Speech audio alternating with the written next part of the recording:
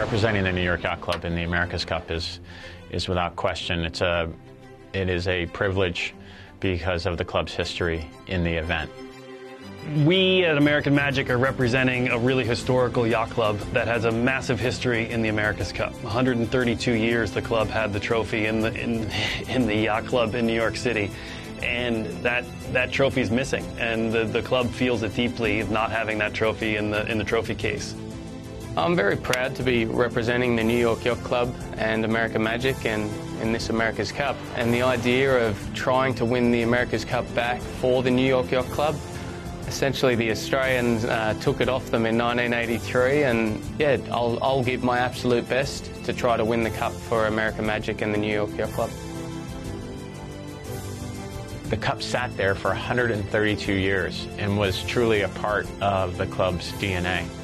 And so it's almost like you're removing a piece of the club's history and letting it go somewhere else. Australia 2 crossed the finish line 41 seconds ahead of the defender of the America's Cup. The defense had lost, and for the first time in 132 years, the challenger had won. What happened in 1983? Australia won 4-3, um, and they unbolted it and took it to, to Western Australia, um, exactly halfway around the world from Newport, Rhode Island, and uh, set up a defense of their own. Today, people must be questioning whether the term down under applies to Australia anymore. Skipper John Bertrand, you and the crew of the Australia 2 have shown us the stuff of which Australians are made. Since 1983, the club has been in the competition um, four times. 1987 with America 2, 1995 and 2000 with Young America, and then in 2003 with, uh, with Stars and Stripes, Dennis Conner. American Magic are back in the game.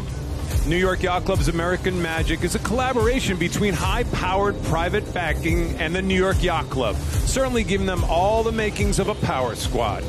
The team's name evolved out of America, which was the first boat to win the America's Cup, and Magic, which was the first boat to defend the America's Cup. It's on in some of the most challenging conditions we have seen to date.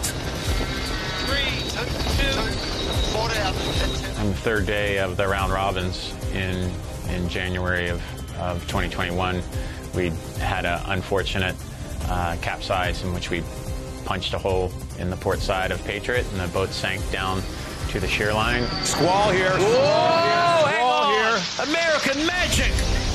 My and goodness. They are over. The beauty of our team is I think there's a high level of resolve she might not come out of the shed as pretty, but she's going to come out of the shed and we're going to get back into racing. How much did the capsize hurt? I mean, it hurts sitting here right now because I think, you know, when you have an opportunity to be successful and you can see it um, and you don't reach your potential, how can you not feel anything but disappointment? The campaign for American Magic and the New York Yacht Club is over.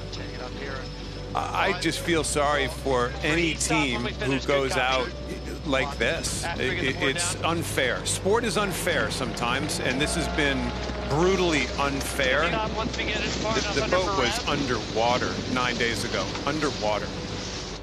It was really tough, Auckland. We uh, we obviously had the capsize where where things went from from bad to worse, and, and it did hurt the team. Everybody pulled together, but it also created such an amazing bond. The guys that were there, the guys that went through that game, much stronger for it. But moving now into to the next campaign, everybody has learnt from the, the mistakes we made last time, and there's also a lot more experience than we had in the previous campaign. So that's hopefully going to put us on a, on a good front foot to, uh, to go forward and, uh, and achieve what we want to achieve this time. At the end of the day, the, the capsize really cemented, you know, our, our principles here with this organization. It brought our team together in ways that we didn't expect, and uh, set ourselves up for uh, a successful foundation to move forward on through future campaigns. It would mean everything to uh, to win the America's Cup with this team. We've had a, I guess it's short journey, but it sometimes it feels like a long journey with uh, with what we went through last time.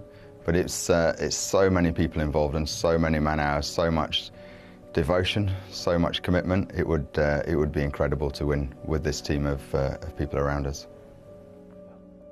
Representing uh, New York Yacht Club and American Magic and, and trying to win back the cup and bring it home to, to where it obviously belongs in, uh, in New York City um, is, is pretty important to all of us and, and you see it each and every day working with the team here, so pretty special all of us here at this team, you know, have been given a great opportunity by the New York Yacht Club to take on some of that responsibility and, and carry that legacy forward.